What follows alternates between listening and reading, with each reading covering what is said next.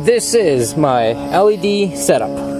This is a 100 watt warm white LED.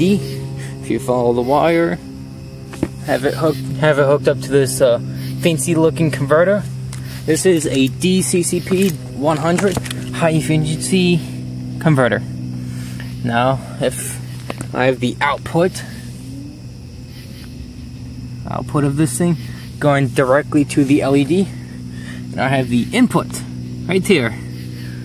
Surprisingly, I have it hooked up to 12 volts DC.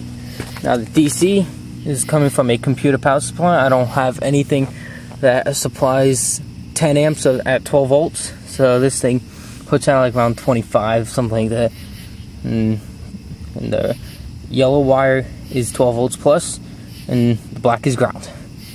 So, so, and and what I'm using for control in this case is a is an iPhone 4S with light on high. And this is what it looks like. As you can see, you can kind of see it, you know. If you get out in the woods, you can't even see it at all. This puts out like around 15 to 50 milliamps of power. And my LED puts out 100 watts of power. So, let's fire this thing up, shall we? Here we go. Oh, there it goes.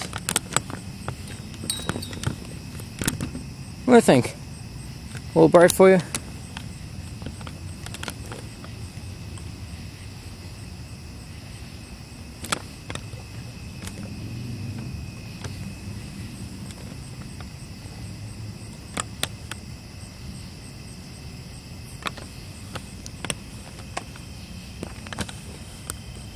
This thing gets very hot very quickly. So there it is.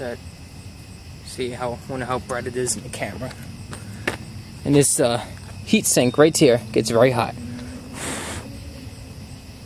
So let's do one more pass around again, right underneath.